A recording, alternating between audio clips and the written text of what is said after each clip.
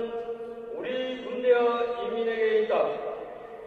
조선인민군 최고사령부 대변인 성명 지난해 12월 12일 우리는 안내 이상으로 국제적인 투명성을 보장하고 정세도 비교적 원활한 때를 선택하여 정정당당하게 평화적인 인공지구 위성을 성과적으로 발사하였다.